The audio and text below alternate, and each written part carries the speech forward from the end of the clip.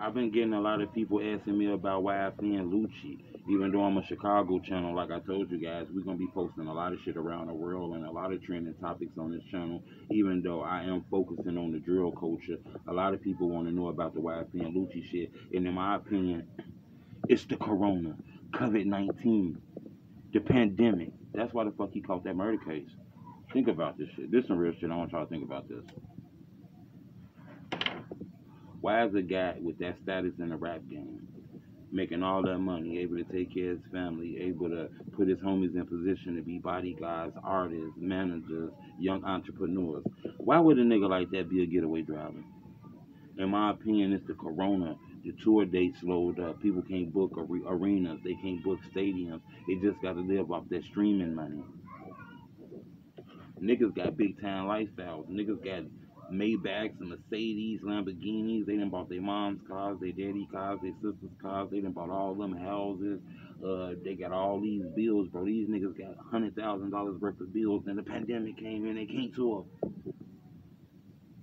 Only time a nigga with that kind of status, that kind of money, that big in the rap game, to be able to do something dumb like that is if he got a lot of time on his hands. There's no reason why you can explain to me why YFN Lucci is a motherfucking getaway driver that shit is weird, bro. That's why I tell y'all the rap game is real funny. You get to believe in niggas is rich when they not really rich. You know, that was some bro shit why I think Lucci did. I'm gonna just tell you that now. The guy is just too big, man. He can put people in positions to not have to live that lifestyle no more. Why in the fuck is he pulling up in the hoods? Now I can see if he was at a club and a shooting got involved. Hey, sometimes shit happen. I can see if he was working on some rap shit and something happened. Cause shit happens. But on your own to be a getaway driver, I find that shit very confusing if you ask me. And then the police petty as hell because they didn't kill anyone.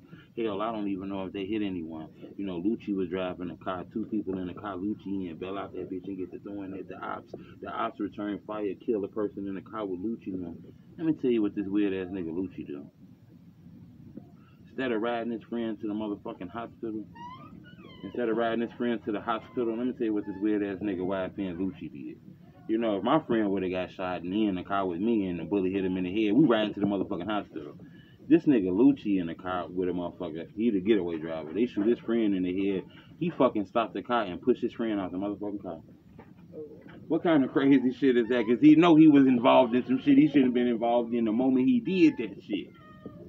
That's why I tell you, bro, that rap shit weird, man. I don't know why Lucci did some shit like that, bro. But at the end of the day, you gotta understand that shit do happen.